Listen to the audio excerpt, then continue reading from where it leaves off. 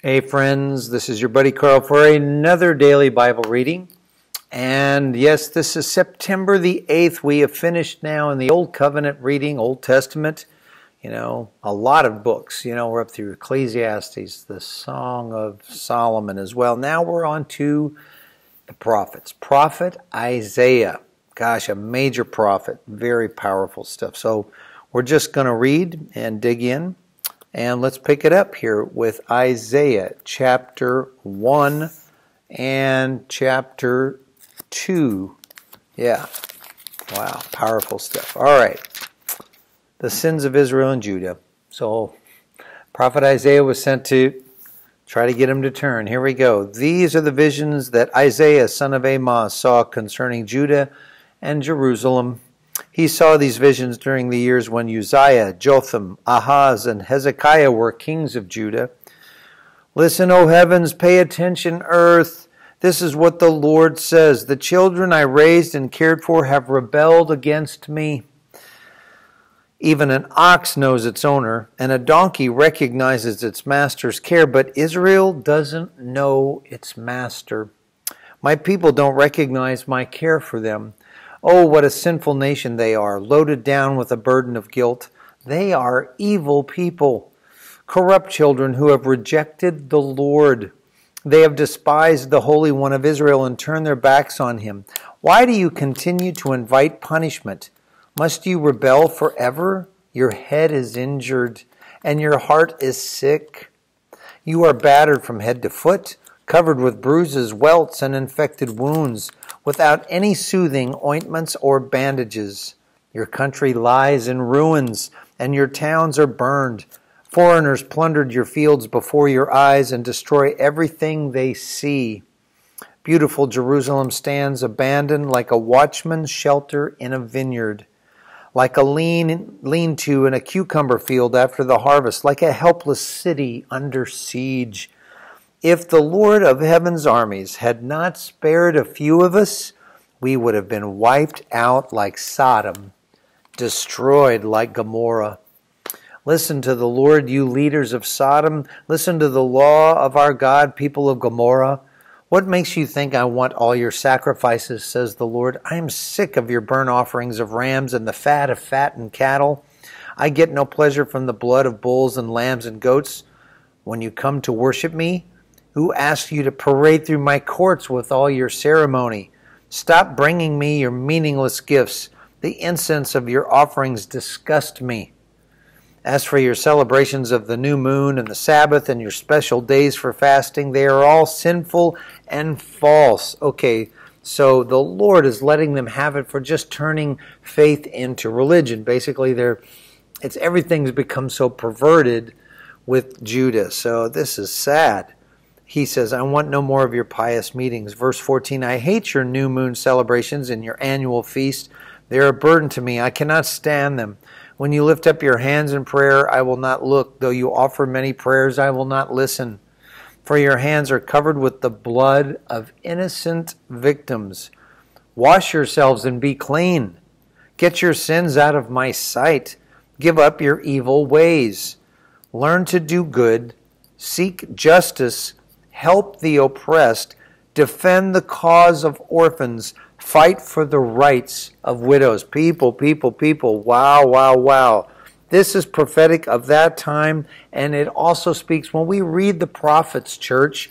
A lot of times we need to take it to heart for the church, for the people of God, and we have to weigh that, not with condemnation, but not to forget what righteousness is, what living with integrity is, what living with true faith producing the fruit of good works is do good, seek justice, help the oppressed, defend the cause of orphans, and fight for the rights of widows.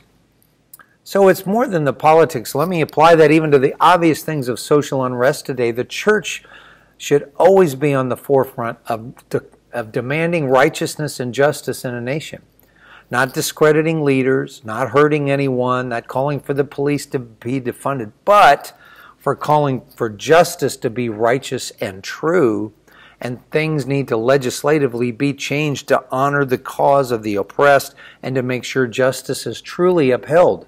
Nobody wants injustices. Nobody wants perverted justice, especially the church. And so we stand in our nation, in America, the obvious things we're dealing with. Not in, again, not in violence or rioting, but to stand and de- to demand of our leaders to do right.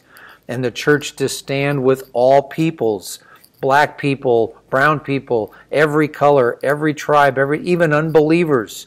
As Christians, we should be ones to see to it that the, the laws of the land speak with righteousness and integrity of the God made country that we believe the United States is. If we're really built on Judeo Christian principles, which I believe we are, then even as a conservative, however you perceive yourself, that doesn't matter. It's just like, yes, absolutely and without having it be distorted by dark forces. And that's a whole other thing, right? And I'll just say this. People say, well, Pastor Carl, Ian, what do you think about the social unrest? Are you standing with Black Lives Matter? I go, I have black friends. I have people of color of, of a lot of different nationalities in the U.S., worked with them. They're friends. We have some in the church, yes, and we love that. And we stand for justice in the country. So on that level, we do. But the the black, unfortunately, the Black Lives Movement that's become a political organization has become corrupt with all kinds of perversion. So, no, we don't stand with that organization politically, but the church definitely stands in the gap. And I've worked with and we pray with other leaders of other cultures in the Nashville region and say, We stand with you. What do we need to do? Who do we speak to? At legislative things. How do we vote? How do we think? How do we go after our representatives? Yes, with calling out for these things to happen. Okay, so that's the prophet Isaiah. And that's how we apply things like that in our day. We don't let it get slanted, we don't let it get compromised to think, well, I guess we just need to do that because it's politically correct. No. We have to be we have to be righteously correct.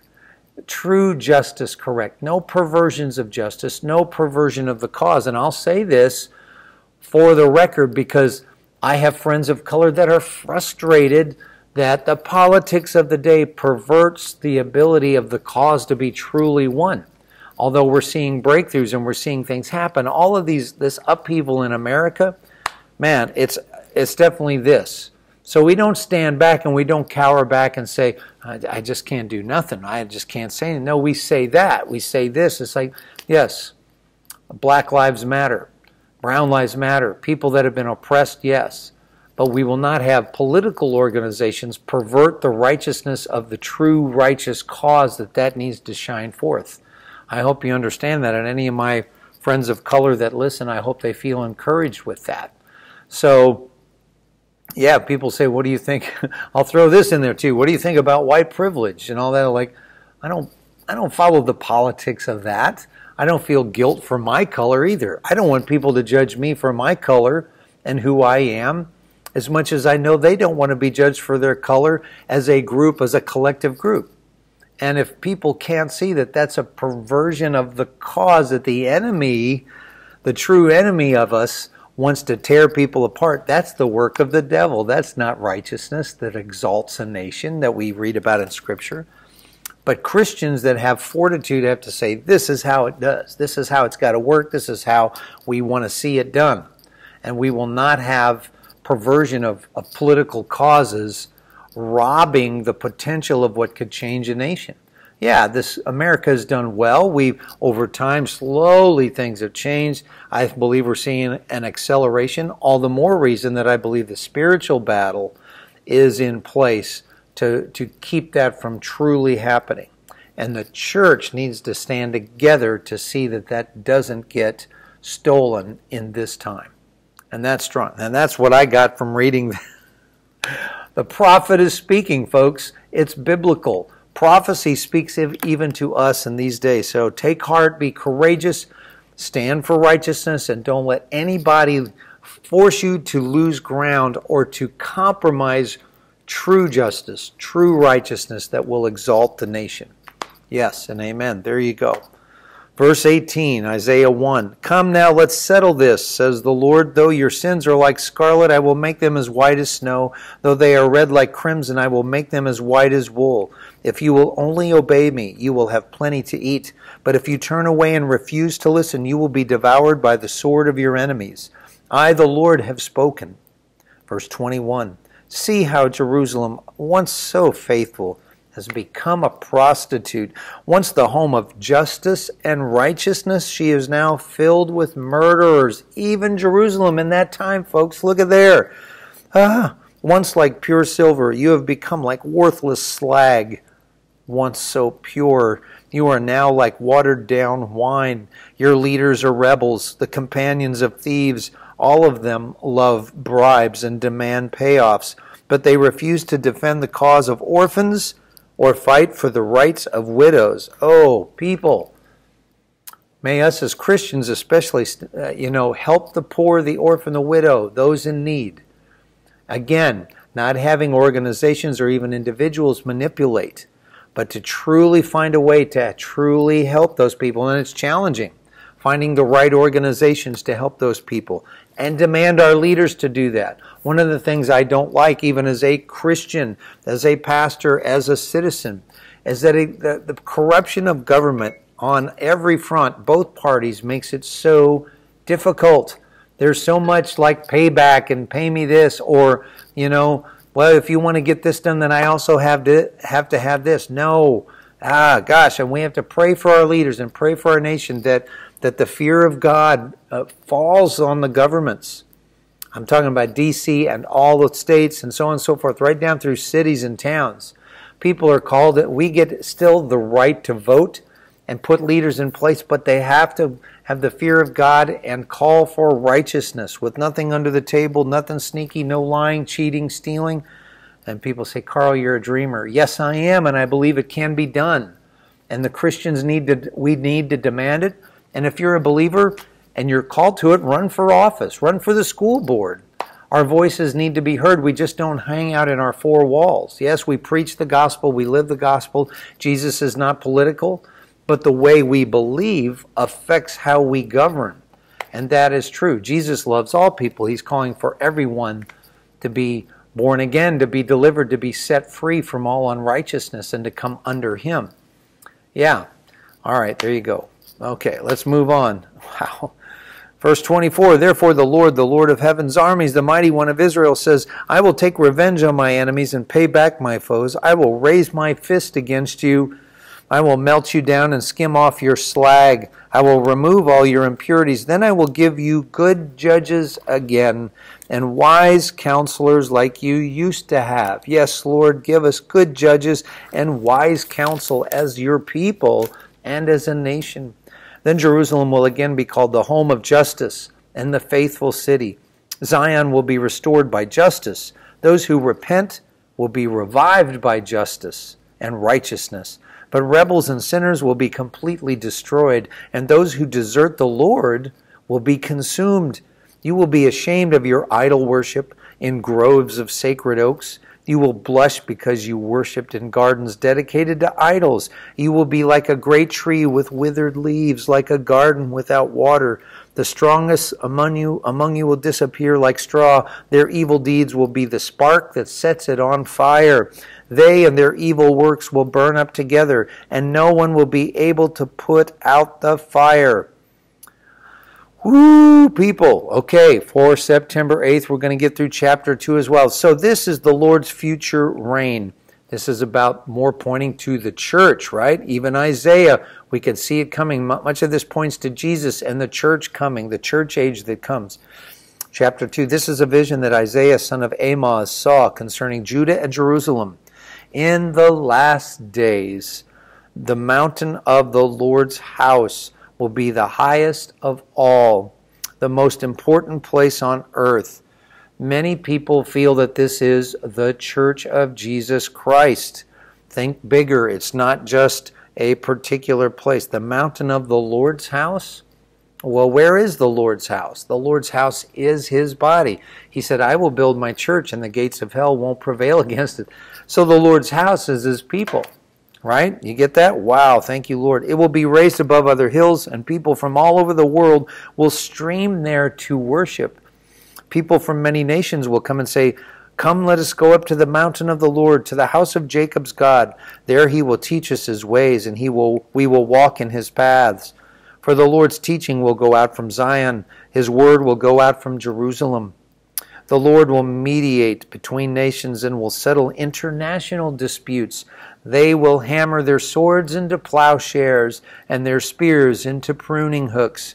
Nation will no longer fight against nation, nor even train for war anymore.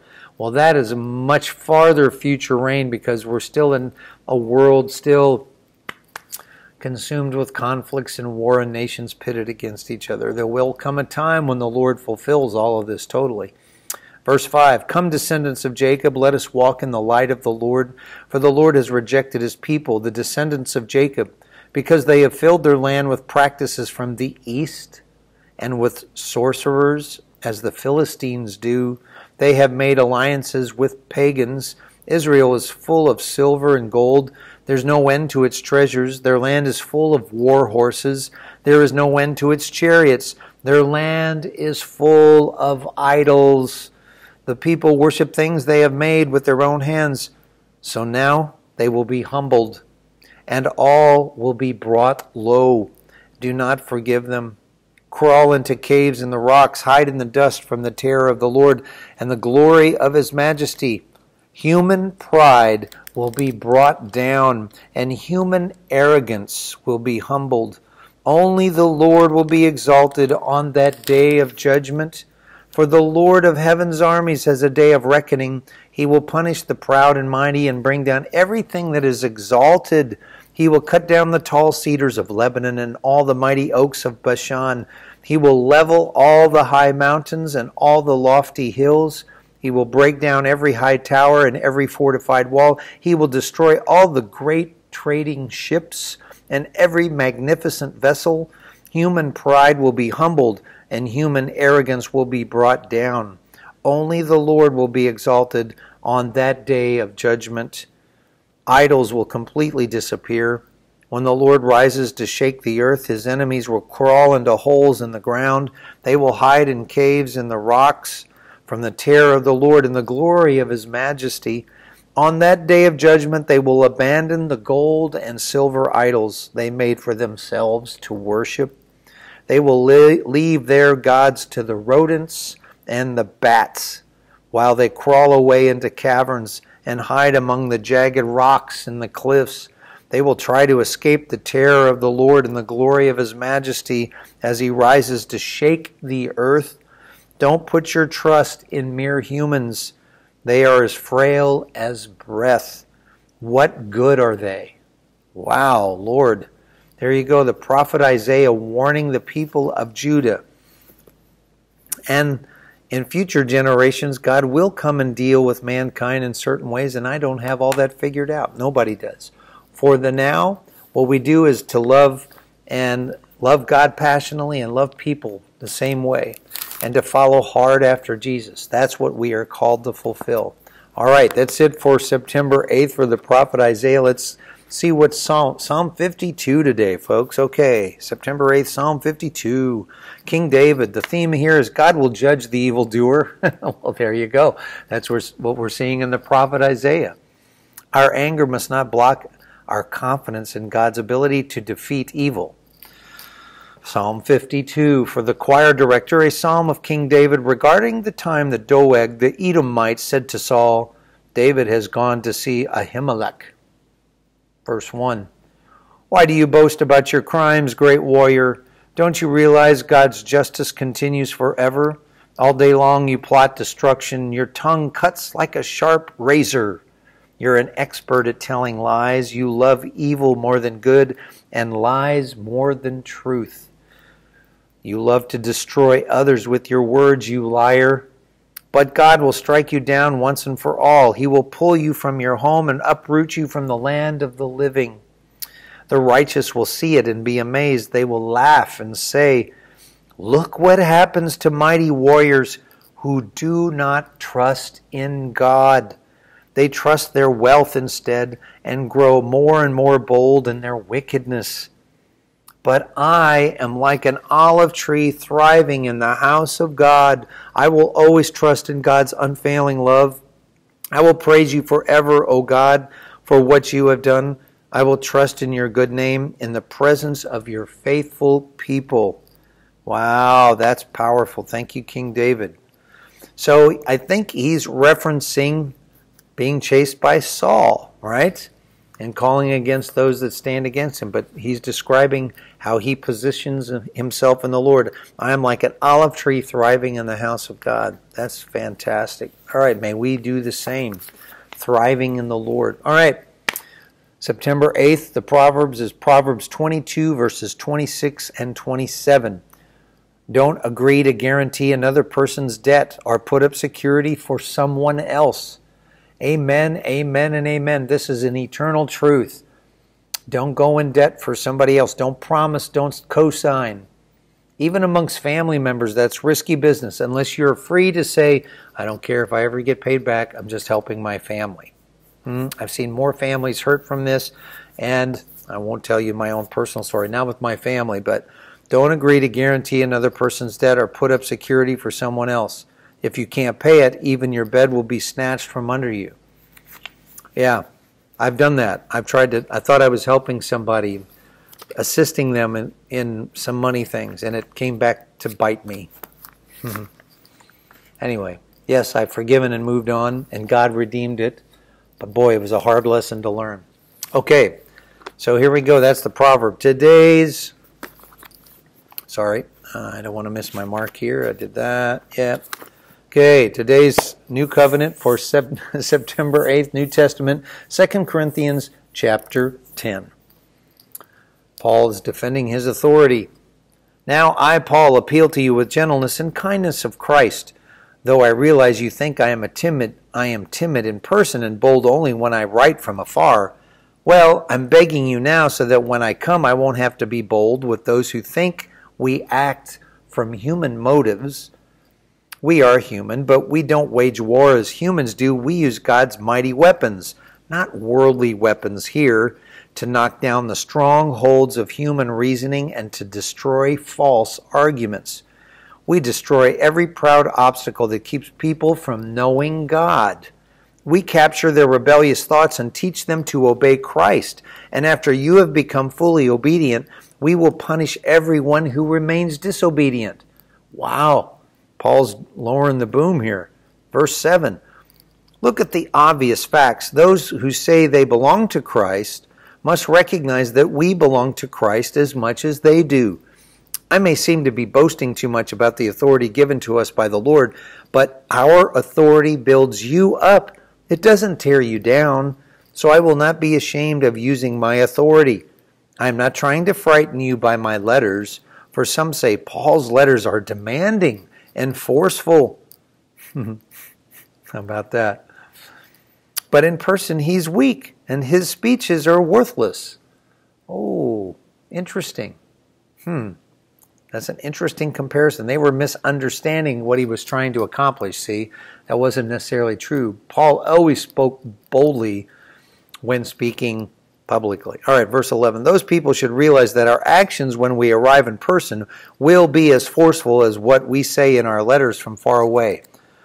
Oh, don't worry, we wouldn't dare say that we are as wonderful as these other men who tell you how important they are, but they are only comparing themselves with each other, using themselves as the standard of measurement. How ignorant. Hmm. We will not boast about things done outside our area of authority. We will boast only about what has happened within the boundaries of the work God has given us, which includes our working with you. We are not reaching beyond these boundaries when we claim authority over you as if we had never visited you, for we were the first to travel all the way to Corinth with the good news of Christ. Nor do we boast and claim credit for the work someone else has done. Instead, we hope that your faith will grow so that the boundaries of our work among you will be extended. Then we will be able to go and preach the good news in other places far beyond you where no one, where no one else is working. then there will be no question of our boasting about work done in someone else's territory. As the scriptures say, if you want to boast, boast only about the Lord. When people commend themselves, it doesn't count for much. The important thing is for the Lord to commend them. And, folks, that's Paul's encouragements to the Corinthians. But we always weigh these things even for the modern church and ask Holy Spirit, Lord, where does that apply to how we're navigating nowadays? That's important. All right, we bless you all in the daily reading. That's it for September 8th, and we will see you tomorrow with another daily Bible reading. Bye bye.